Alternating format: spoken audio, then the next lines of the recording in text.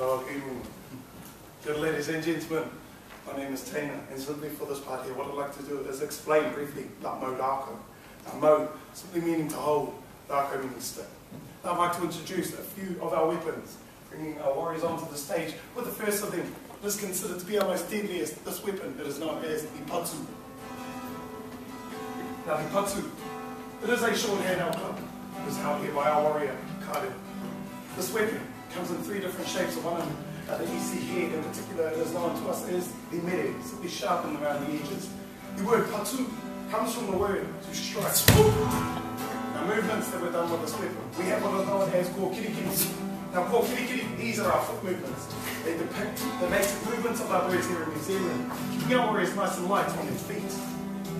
Now held in the hands of a very skilled warriors such as our warrior Kade, the patu can kill a man within three seconds. The first of our weapons. But the next uh, weapons that I'd like to bring onto the stage is one that is considered to be the most commonly used uh, throughout the mile. This weapon that is known as the taiaha. Now the taiaha, it is a core staff, and it is held here by our warrior. This weapon, we have taken the abstract forms of our ancestors, this weapon in particular. So for this part, I'd like to explain the parts to this weapon. Now we begin with what we know as a upu or head. Now protruding from the end of the head, we have what is known as the protrusion of the tongue. The fine feature to us, the Māori, we believe with protruding of the tongue as showing a sign of intimidation.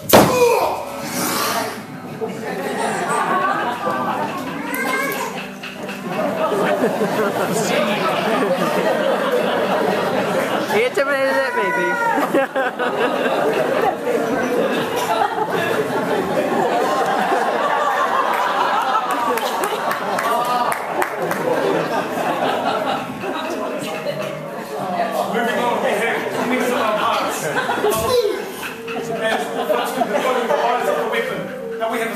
each side labeled with power shells to take the warrior from all four sides.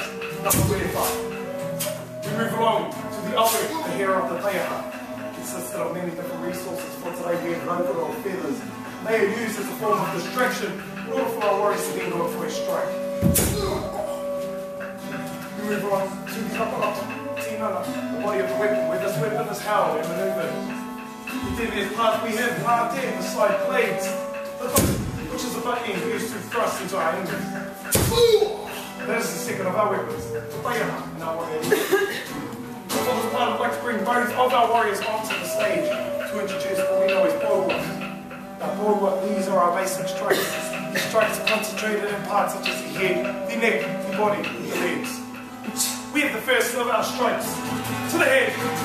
Oh.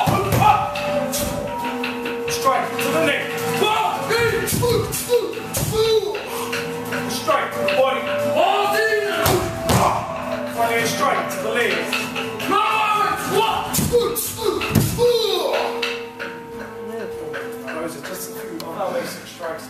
We know it's work.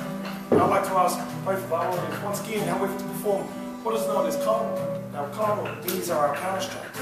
Concentrated in those same parts of the body. We begin with. The first part. We have counter strike to the neck. counter ah! strike to the body.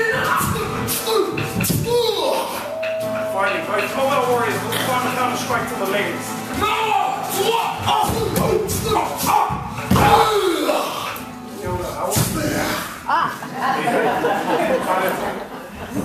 Hatu, Maurākau, Māori Weturu.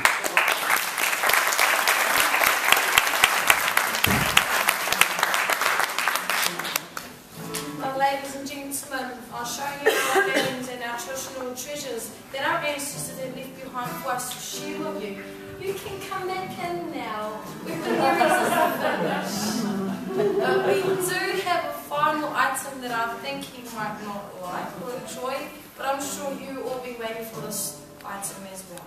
And as our most traditional item known as the haka. And the haka is a posture war dance. It was used to psych our men, to prepare our men for their march to their battlefields to face our enemy. This is our final item we'd like to share with you ladies and gentlemen. So you'll see the slapping of the bodies the thighs and the arms. These were messages to our enemy that our people prepare for their hits and their blows. You'll see, the whareatero te which is the protrusion of the tongue, only performed by our men.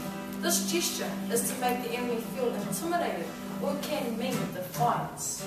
To support our men, you'll see the wahine come in the haka later on in the haka. The women did do the haka, not at the battlefields, but we did the haka before our loved ones, our brothers, our sons, our fathers, our husbands left our villages. It may be the last time we see them before their journeys to their battlefields. So mentally, physically, emotionally, but most definitely spiritually, we did the haka to watch upon our men, to call upon the spirits of our guardians to join them as one, to protect them, to guide them throughout their march. So ladies and gentlemen, do enjoy our final item, your performing group Te Whānau Rau Kura me Te Haka. Te papa